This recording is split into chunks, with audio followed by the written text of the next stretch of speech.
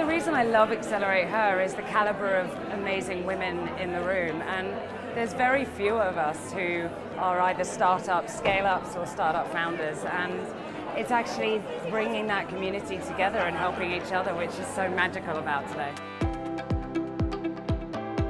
It's an event which is at the highest quality of anything the industry produces and it's also about women in technology. And I think those two things come together to make it super creative. Just been talking to people who are meeting investors for the first time, sharing advice, uh, seeing people who inspire them, and that's what it's all about.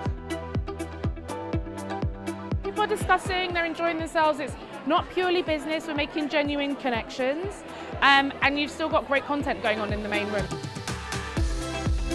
I came all the way from the west coast of the US to AccelerateHER specifically to connect with the next movement of female founders, female-led businesses, and to get a, a, lens on what I think is the next big thing in business.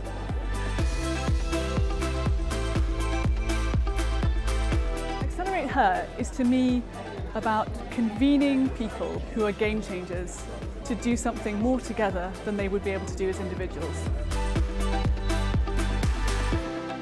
I think one of the things that's fantastic about AccelerateHER is the extraordinary people that it brings together from all walks of life. And given that there's some of the biggest companies as well as the most interesting and newest companies here together, there is a lot to be learned both ways.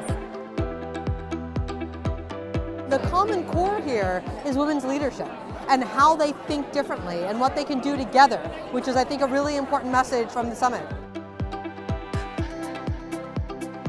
Year it's just getting better and better. I mean, this year I think particularly is a very diverse group of people, and the topics really have already ranged from everything from health tech to satellites to machine learning. It's a really wide range of topics.